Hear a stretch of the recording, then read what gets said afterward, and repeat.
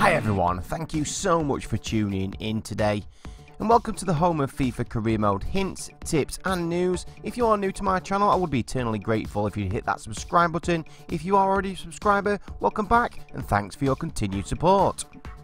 And in today's video, I'll be checking out the highlights from the Career Mode squad update from the 3rd of March 2020. But the exciting news is following yesterday's title update and the subsequent squad update, is the introduction of the South American Premier Club football competition, the Copa Libertadores. And what that means for career mode if you are using a team that have qualified for the competition, the Copa Libertadores will be available now in that career mode. The bad news is though is all of the Brazilian teams that have qualified for the Copa Libertadores have fake generic player names. For me, this takes away a lot of the realism for this competition.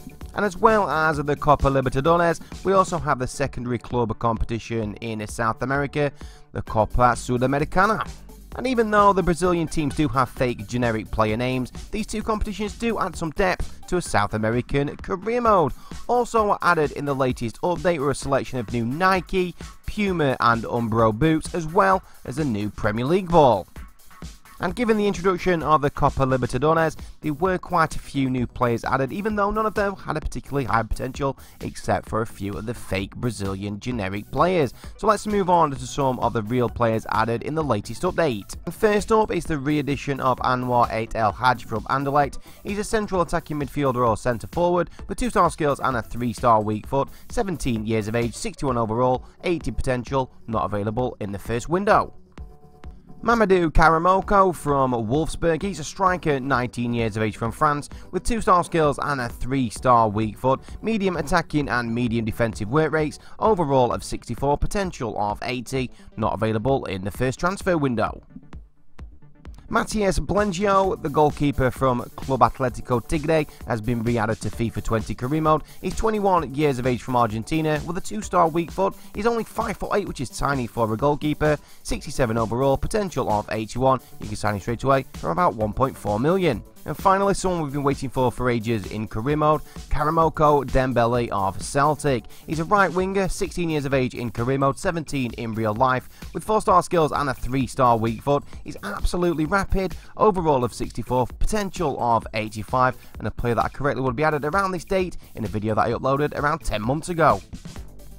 So now I move on to checking out some of our career mode favourites who've had their potential upgraded in this week's squad update. And we start off with Odilon Kossounou from Club Brugge. He's a centre back, potential increase from 80 up to 81.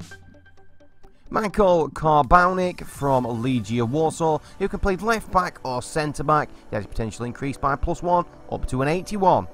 David Hancko from Sparta Prague, who can play centre back or left back, 21 years of age, increase of plus 1. Pavel Bucha from Victoria Plesen, who can play central attacking midfield, central midfield or right midfield, potential increase from 80 up to 81.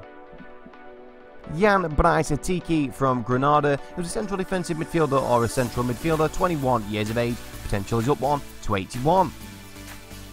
Cristian Manea from Cluj, who can play right back or centre back, potential increase by plus 1 up to 82. Maxwell Cornet from Lyon, who can play right wing, left wing back or left wing, potential increase by plus 1 up to an 82. David Zima from Slavia Prague, centre back, 18 years of age, potential upgraded by plus 1 up to an 82. Bingourou Kamara, the goalkeeper from Strasbourg, potential increased by plus 3 up to an 82. Robin Le Normand from Real Sociedad is a centre back, 22 years of age, plus 2 potential upgrade. Max Bird from Derby County, who can play central midfield or central defensive midfield, potential increased by plus 2 up to an 83.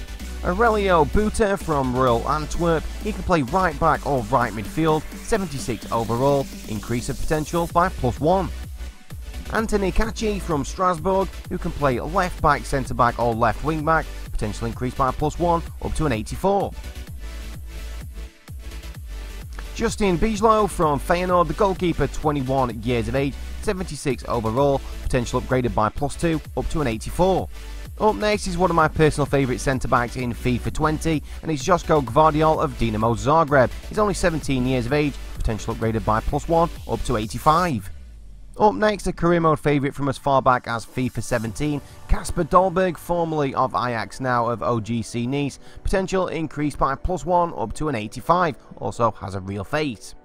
One of the best young centre-backs in FIFA 20 career mode is Marco Kana from Anderlecht. He's only 16 years of age in career mode, potential upgraded by 1 up to an 85. One of the most impressive young players in the Premier League this season is Arsenal's Bukayo Saka, who could play anywhere down the left-hand side, potential upgraded by plus 1 up to an 87. And finally is Adam Hložek from Sparta Prague, who's had his potential increased by plus 1 from 86 up to an 87. But we have to end today's video on a negative note. Yesterday's update came with this unwanted glitch. If you're looking at your match lineup, in any competition that doesn't include a broadcast package, all your players' names will be listed as undefined. This is not acceptable and needs fixing as soon as possible. So those were the highlights from the Career Mode Squad update from the 3rd of March 2020. But just a reminder to access any of the features, you will need to download the updates and start a brand new FIFA 20 Career Mode. So all it means to say is thank you so much for watching. Please remember to tune into my channel next time. But for today, it's FCG out.